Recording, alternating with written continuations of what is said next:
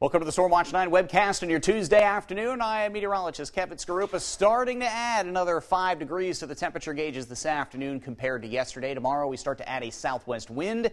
That will mean more humidity starting to creep its way back into the forecast. And the hottest day and plenty of humidity around will be during the day on Thursday. As the front makes its way through in the afternoon and evening, we'll have some scattered showers and storms. 80s just about statewide this afternoon.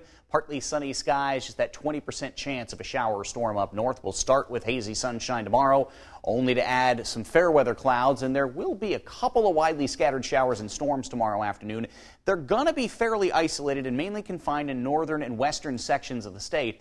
The catch to that is, is any storms we do see develop could be on the strong side, just with temperatures well into the 80s to lower half of the 90s. Beyond that, better chances of showers and storms Thursday afternoon and Thursday evening as a front makes its way through. That will start making it feel more comfortable by the time we get toward Friday, especially in the afternoon and into the evening. So 80s out there this afternoon, maybe Nashua touching 90, and then it is 80s to lower half of the 90s on Wednesday. But notice temperatures by the time we get toward Thursday. Could be a couple of storms early in the day up north and then scattered around later into the afternoon and into the evening.